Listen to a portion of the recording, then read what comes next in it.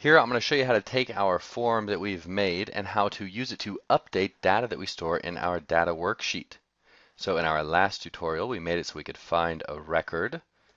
Let's look for Judge Dredd, fills into our form, and now if we change something, let's say he's a senior, since he's a test tube baby, hit submit, success, Go to the Data tab, and you can see it changed to Judge Dredd Senior. So that's what we're going to do in this tutorial, and make sure you check Teach Excel for the premium course where I'm able to show you lots of stuff that I can't show you here on YouTube. And let's get started now. Before we start, check the video description and click the link to Teach Excel so you can download the files for the tutorial and follow along. And make sure to subscribe and accept notifications so you can see all the new tutorials. As usual for this course, please make sure you've watched the previous episodes of it so that you're all caught up. I'm not going to repeat or cover any of that stuff. And make sure that you download this file from Teach Excel so that you can follow along for the tutorial. And for those of you that think I drone on a little bit too much or explain things in a little bit too much detail, you'll like this tutorial. It's going to move pretty fast. Now, after the last tutorial, we have everything pretty much set up to do the next things. And what we needed to do for the next steps is to be able to locate the data on the data worksheet. So now we already have that with our find record feature, and that's going to make life a lot easier. So let's go to the VBA window and get started, Alt F11. Open up our code. Remember 1, 2, 3, 4, 5, 6 is our password. And if you forgot why we do that, it's so that you can password protect your worksheet have your password in your macro and make it so that no one else can see that.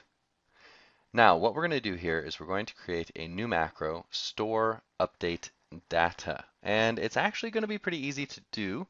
So I'm going to delete all of this, save this comment up here, delete all of this, and let's start fresh. So sub store underscore update data.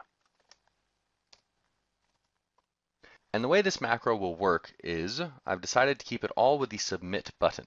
Since our records are, are, supposed to be unique for each row, the submit button can do both functions of adding new data as well as updating old data. It's going to use the ID number to make sure everything is unique. So that's a premise that's very important. It's central to how all of these tutorials are going to work together.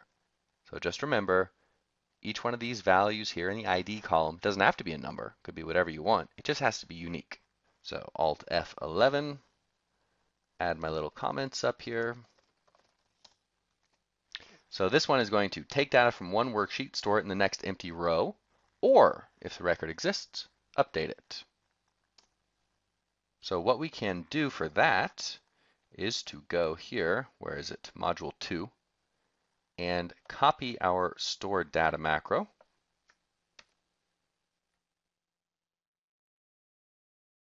Paste it over here. I'll zoom in once I start talking about the code specifically, but it'll be a little bit easier to view it like this. So now, here's our store data macro, and can you think what we might need to change to make it so that it will update a value? We actually only have to change one thing, but it requires a little bit of code and that is the next row variable. So next row, this variable, what's contained here is what we use to tell the macro on which row to input our data here on the data sheet that we get from the form. So all we have to do is to give it either a row of the next empty row, the row number for the next empty row, or the row of the one that we want to update. So we don't have to change anything else in our code. It's great. We just have to find which row. And if you watched the last tutorial, part 6, you'll know that we now know how to find the row. So we find the row by the ID number. So let us go back to our select data, our select data macro. What do we need to find out? I will zoom in here. We need to know which column holds our unique identifier. So we need this data right here. We need to know what we want to search for. So we need this search value right here, although we're going to change the input box. Now, once we have those two things, all we need to do is to do our little search value check to make sure we have a value to search for. And then we need to get the code that finds the value, that searches for it. And then the little if statement right here. So that's all we need to do. Let's copy paste it in there now. I'm going to zoom back out and make this a little easier. So we select this, copy this, go back to module 4, paste it right here under the worksheets because we do need these worksheet references. Now let's make some space and go get the search feature search feature right here. Copy that, bring it over here, paste it in. Now let's go ahead and indent this code. Okay. Now let's go through it. It's it's broken if we try and run it right now, but I want to go through it first a little bit before I update it. So let's zoom in. So we brought in the data ID column variable. If you want to, you can go ahead and pop that in up here, just as it was done for module 3 to declare the variable, but we don't really need to. So here, data sheet, if you copied and pasted this, make sure this is the same as the datasheet variable name right here, if you're not following this example exactly. Range A, okie dokie, that's where our ID is. Now, search value. Here, what we want to do, we don't want a pop-up box because that's an inconvenience. We want to get our search value right here. So let us view the formula bar. Okay, that is cell F6. So Alt F11. Let us hit Shift and then End to select all that, then backspace. Now what do we want? Well, we want it from our source sheet. So this guy right here. And we want it to be range F6. What do we want? We want the value of that cell. That's what we're going to use to conduct our search. So now we get it from that cell instead of a pop-up window input box. Search value, okay. We do the same checks as previously. Make sure the search value does not equal essentially nothing. So this takes care of if they hit the cancel button or the escape key uh, or they don't put in a search value. So basically they didn't put in a search ID. Now we go ahead and we do the search. We have brought in our data ID column variable and set that accordingly up here. We have our search value and our search value. And I brought over the link to the Microsoft's website so you can get more information on .find if you want to, but this should suffice right here. All these options. Then remember, we have to make sure that it actually found something. So here's our code to check if it found something. And now here's where we can change the rows. So this if statement, we have to go ahead and finish. So let's go down here, backspace one, else, then we go down here, tab, tab, enter, and if. So what we're going to do, if it already found a record right here, then we want to use the row of that record to input the data from the form. That way, it'll essentially update that record. Now to make our life easier, we're just going to use the variable which is used throughout the rest of the macro. We're going to copy that and we're going to paste it right here. Now, down here, else, let us make a little comment, input new record. And so what this is going to do is it's going to get the next empty row from our data sheet.